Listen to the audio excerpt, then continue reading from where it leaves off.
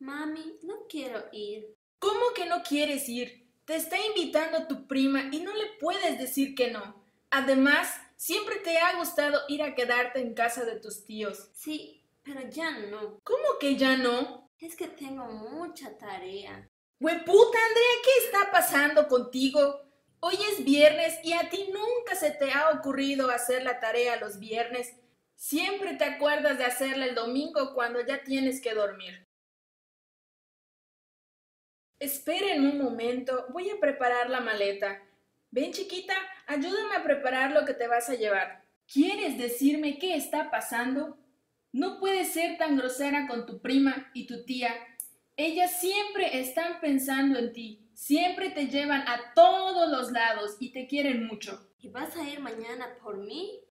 Siempre te recogemos los domingos después de desayuno. Tú misma fuiste quien pidió que así lo hiciéramos. Sí, pero ya no quiero quedarme hasta el domingo. Es mucho tiempo, mami. Pues tu prima se va a poner muy triste cuando sepa que ya no te la pasas de lo mejor con ella. Y eso que dice que son como hermanas. Esas son solo mentiras. Ella nada más lo dice, pero nada de eso es verdad. ¿Cómo que es mentira? ¿Me estás llamando mentirosa a mí? No, mami, a Carla. Ella no me quiere. Siempre le gusta hacerme bromas pesadas y se la pasa pellizcándome. Muy bien, entonces no vas a ir y no volverás a ir nunca. Pero tú vas a salir a explicarles. No esperarás que sea yo la que quede como mal agradecida con mi hermana. Es pura ropa usada. Nunca me han comprado nada. Es la ropa que ya no le queda a Carla. No vamos a discutir más, Andrea. Eres una niña grosera y mentirosa. Tu prima nunca podría tratarte mal y ahorita vas a ir a explicarles. Ya me lo terminan. ¿Puedo ayudarlas? Ya, ve al baño y lávate la cara para que no te vea así tu prima y tu tía. Pásale, Carlita. Ahora nos apuramos. Lo que pasa es que tu prima no me había dicho que reprobó un examen y estábamos platicando. ¿De qué era el examen? No deberías preocuparte. El año pasado que yo iba en cuarto como tú también, reprobé varios exámenes y mira, ya estoy en quinto y no pasó nada. Mi mamá dice que reprobar un examen de vez en cuando no es malo. Lo malo es ser mentirosa, grosera o pegalona. ¿Verdad, tía? Así es, Carlita. Voy a ver a tu mamá para decirle que ya no tardamos. ¿Puedes ayudar a Andrea a meter su ropa en la mochila? Oye, huerca, ¿por qué dijiste que no querías ir a mi casa? Porque juegas muy pesado y siempre me lastimas. Pero me lo hubieras dicho antes. Esas cosas no tienes que decírselas a tu mamá porque no te va a creer. A ver, pásame esa ropa. Deja eso.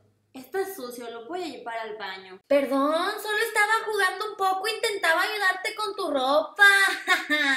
Pero mira, si pareces una ratita asustada. Mejor apúrate, Andrea, que ya debemos irnos. Ya verás cuántas sorpresas te tengo preparadas.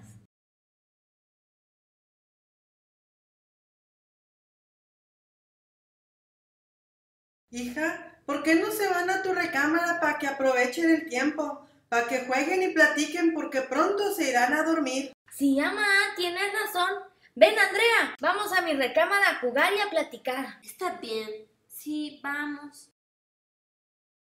Son unas mensas las otras niñas de mi escuela. Nada más están viendo qué hago porque solo quieren imitarme. Pero de seguro habrá algunas que no lo hacen. Sí, pero a esas nadie les pone atención, así que no cuentan, como si no existieran. ¿Ya qué juegas con tus amigas? Bueno, me la paso con ellas en el brincolín, como brincamos tú y yo el otro día, ¿te acuerdas? El día que vinieron dos amigas de la escuela mientras veía cómo te enseñaba. Sí, no las dejaste brincar ni un ratito. Bueno, ya las iba a dejar, pero en eso te caíste. No es cierto, tú me tiraste. No es cierto, Solo le di un jalón a tu vestido para que pasaras al otro lado. Yo no tengo la culpa de que brinques tan mal. Si no me hubieras jalado, no me hubiera caído. Y lo peor fue que dejaste que tus amigas se burlaran de mí. ¿Y pues qué querías que hiciera? ¿Que la regañara? Yo no soy su mamá. Además, ellas saben que siempre terminas llorando. ¿Y por qué lo saben? Porque les he contado que siempre que vienes a la casa terminas chillando por cualquier cosa. Les da mucha risa cuando les platico cómo jugamos y cómo nunca aguantas nada. No me gusta que te burles de mí con tus amigas. No sé por qué te has vuelto tan quejumbrosa. Porque te has vuelto muy tosca conmigo. Claro que no. Mejor vamos a ponernos la pijama. ¿Me ayudas a sacar mi pijama? ¿Dónde está? Está en el closet, pero no me acuerdo bien. Yo busco en los cajones y tú fíjate si no la guardó mi mamá adentro, debajo de los suéteres que están colgados.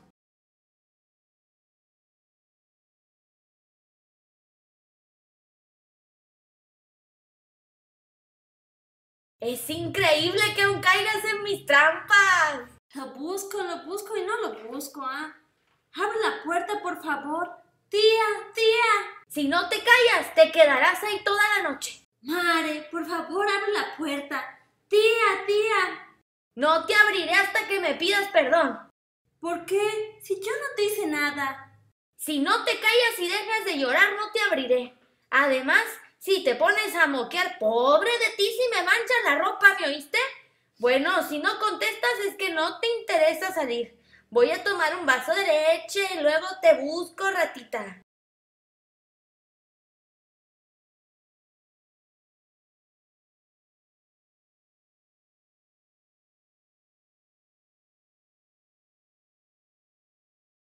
Mamá, ¿dónde estás? Ya no quiero regresar más con mi tía. Pobrecita, tuviste una pesadilla espantosa. Ma, no es cierto. Tú me dejaste encerrada allá arriba. Eso también lo has de haber soñado. Pobrecita, qué horrible pesadilla tuviste. Ven conmigo, mija, yo te voy a cuidar un rato. Ven tú también, Carlita. Vamos a platicar los tres y después les cuento un cuento.